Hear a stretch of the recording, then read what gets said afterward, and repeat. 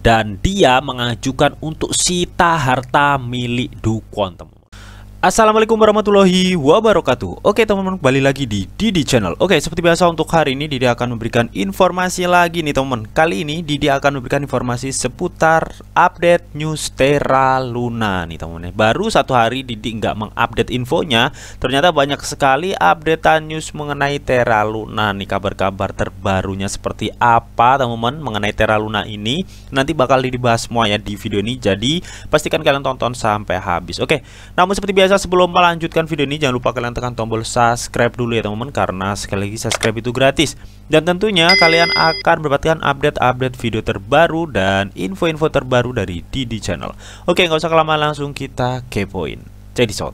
Oke, jadi uh, tadinya teman-teman ya pada 13 Mei 2022 teman-teman ya pendiri Terra Luna atau si Dukon itu teman-teman ya. Katanya itu dia uh, mengumumkan revisi nih rencana untuk memulihkan ekosistem Terra Luna tersebut teman-teman. Nah, di sini Dukon itu mengatakan teman-teman bahwa katanya Terra From Labs itu ya akan mengajukan proposal tata kelola barunya pada 18 Mei atau yang tepatnya itu kemarin teman-teman ya untuk melakukan frog blockchain pada Terra Luna teman-teman yang disebut Terra teman atau Luna teman ya. Namun rencananya teman ya untuk chain yang baru itu tidak tertaut dengan Terra USD atau UST teman ya.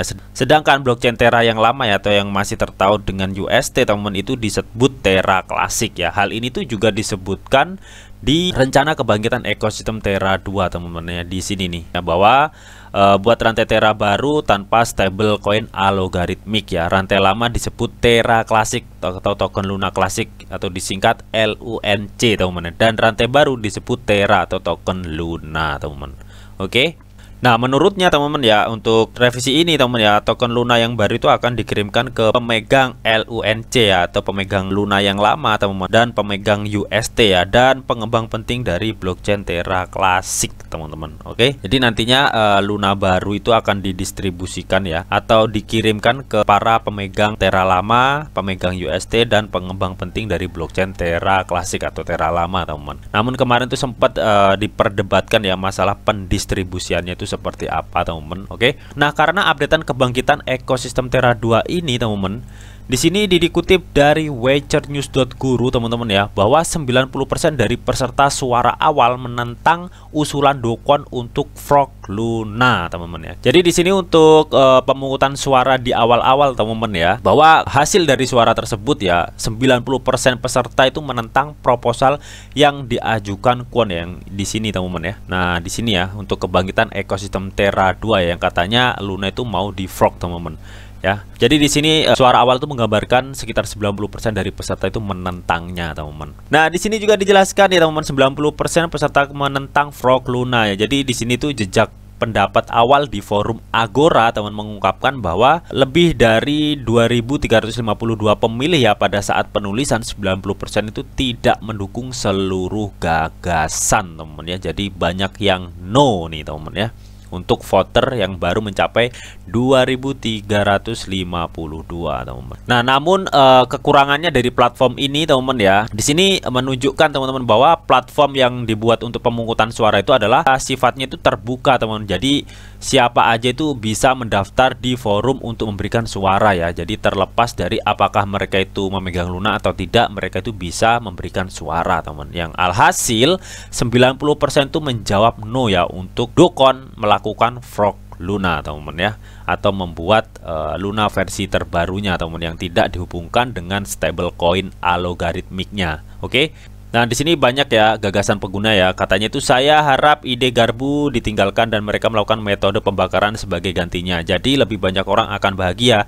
Ini akan membuat Luna kembali ke 10 besar dengan kapitalisasi pasar yang lebih tinggi karena semua mata tertuju pada ini. Jadi banyak para uh, pemain Luna teman-teman ya berharap uh, bahwa Luna itu nggak usah di frog namun di brand saja ya. Jadi banyak holder Luna itu berharapnya seperti itu ya kalau menurut artikel di sini yang dikutip dari beberapa komentar-komentar di forum pengumuman di Frog Luna ini teman-teman ya. Nah, namun untuk updatean terbaru ya pada 13 jam yang lalu akun Twitter Dukon itu mentweet nih, Tera Tata Kelola Prof ya 1623 untuk mengganti nama jaringan yang ada Tera Klasik ya, Luna Klasik atau LUNC dan kelahiran kembali Tera Blockchain dan Luna ya atau uh, dolar Luna. Sekarang telah aktif katanya teman-teman ya. Di ini kabar menggemparkan gitu teman-teman. Setelah katanya tadi uh, pada suara awal ya, banyak uh, peserta itu sebesar 90% peserta itu menolak uh, ide dari Dokon yang akan menfrog Luna teman-teman. Namun ya 13 jam lalu di sini katanya kelahiran kembali Terra blockchain dan Luna teman-teman. Sekarang itu telah aktif dan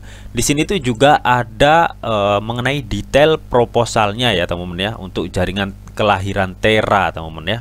Dan di sini juga dijelaskan teman-teman untuk rantai lama disebut Terra Klasik ya atau LUNC dan rantai baru disebut token Luna teman atau dolar Luna teman-teman ya. Oke. Untuk hasil voting suaranya teman-teman. Di sini tuh yang mengejutkan 87,48% tuh menjawab iya teman-teman ya. Jadi ini sangat berbeda jauh atau bertolak belakang banget dengan hasil suara pertama teman-teman ya. Yang hasilnya itu 90% peserta menentang Frog Luna teman-teman. Oke. Nah, di sini teman-teman ya pada 18 Mei 2022 uh, semalam teman-teman ya si Wager Guru itu mentweet nih ya bahwa 89% suara pada waktu press ya mendukung proposal Dokon nih untuk membuat rantai baru untuk Luna tanpa UST ya. Jadi mendukung frognya teman-teman. Dan di sini juga sama ya hasilnya itu 89% menjawab yes teman-teman. Namun yang terbaru saat ini tuh ini teman-teman ya sebesar 87,48% yang menjawab ya teman-teman ya dari uh, suara 125 juta suara teman-teman oke okay?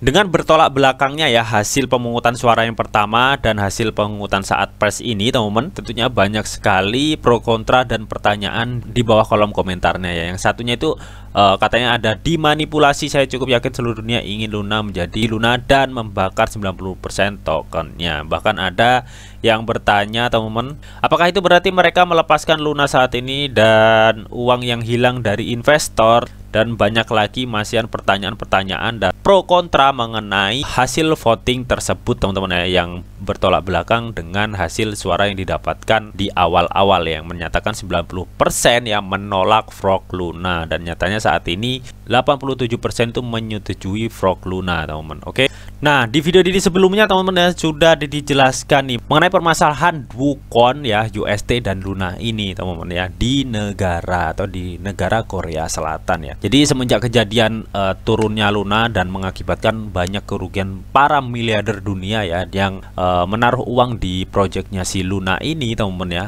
Luna itu banyak disorot mata dunia ya terutama itu uh, oleh badan regulasi yang mengatur bagian uh, mengenai investasi teman-teman ya karena ini memang merugikan banyak banget uh, miliarder dunia gitu teman-teman. Nah, dan kemarin juga Didi sudah jelaskan bahwa pemerintah Korea itu uh, gercep banget ya membuat undang-undang untuk mengatur per cryptocurrency ini atau aset digital teman-teman. Nah, kali ini pada 18 Mei teman-teman ya, Korea Selatan itu telah meluncurkan penyelidikan darurat atas runtuhnya Luna dan UST teman-teman ya.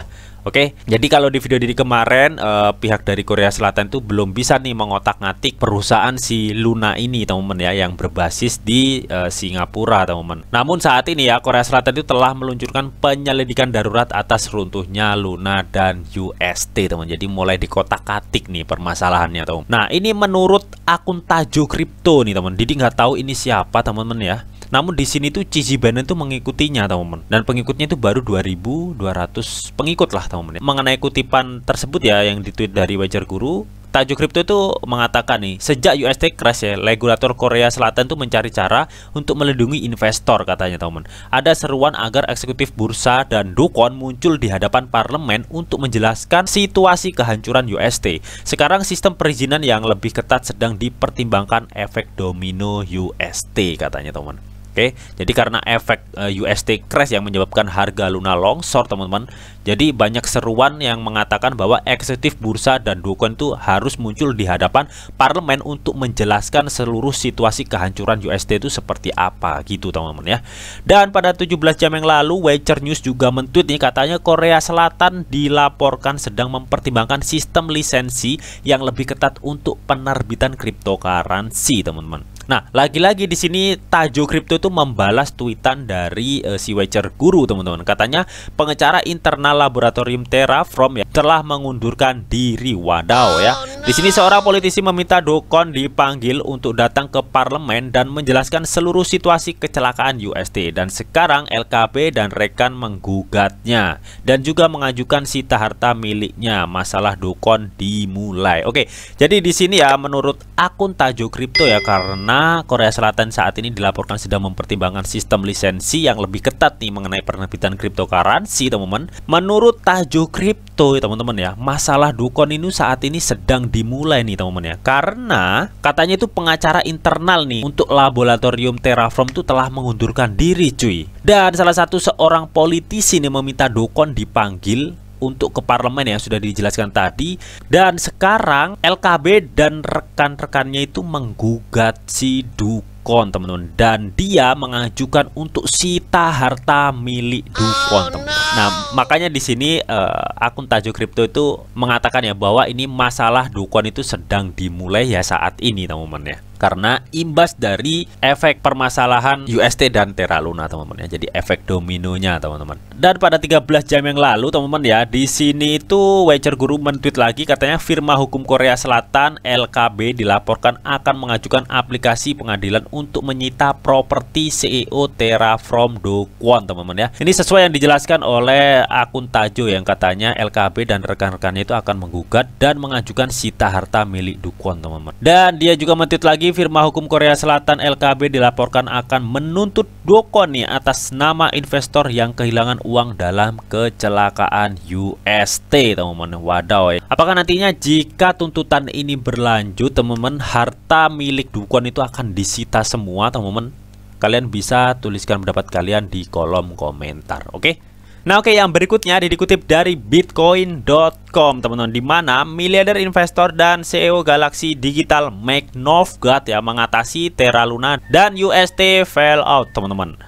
Oke jadi sebelumnya ini sudah dibahas ya mengenai kerugian si Mike Novgad ini ya yang mengalami kerugian tuh sebesar 6 miliar US dollar teman-teman ya. Jadi si McNovgat ini memasukkan sekitar 8 miliar US dollar ya di Project Terra Luna ya dan dia itu sangat bersemangat sekali ya bahkan dia itu memiliki tato nih di tangannya ya yang dituliskan nama Luna teman-teman. Namun setelah kejadian longsornya UST dan Luna tersebut teman-teman ya, harta kepemilikan atau aset si McNovgat ini ya hilang 6 miliar US dollar. Jadi si tersisa hanya 2 miliar US dollar. Hal itu menyebabkan si McNovgat ini ya ya pastinya nyesek berat teman-teman ya.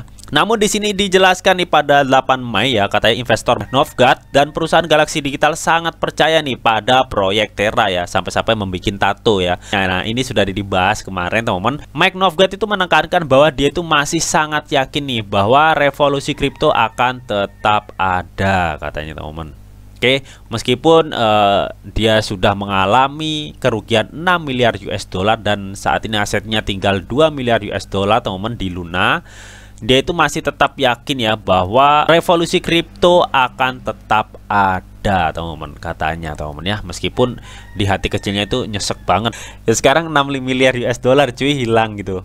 Jadi intinya di sini untuk McNorthgard teman-teman yang menanggapinya dengan positif ya meskipun dia kehilangan 6 miliar US dollar teman-teman oke Nah oke okay, yang terakhir di sini dikutip dari Wager.guru teman pada 9 jam yang lalu di mana di sini Korea Selatan telah menghidupkan kembali unit Yeoudo Grim Reaper teman-teman ya setelah 2 tahun tidak aktif untuk menyelidiki kasus Luna teman-teman ya.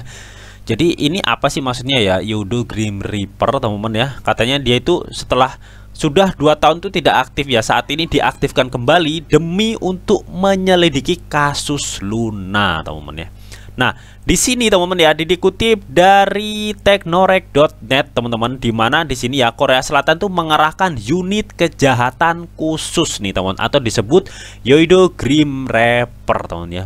Jadi di sini bisa diambil kesimpulan teman-teman bahwa Demi untuk menyelidiki Terra Luna teman-teman ya, pemerintah Korea Selatan tuh sampai mengerahkan unit kejahatan khusus untuk menyelidikinya teman-teman. Padahal Yudo Grim Reaper atau unit kejahatan khusus dari Korea Selatan ini ya, sudah mati selama 2 tahun ya. Karena kejadian UST dan Luna ini sangat-sangat menggemparkan dunia ya, terutama bagian investasi teman-teman. Mungkin ini yang menyebabkan pemerintah Korea itu sampai menghidupkan kembali nih unit kejahatan khusus demi untuk menyelidiki kasus Terra Luna, teman-teman ya.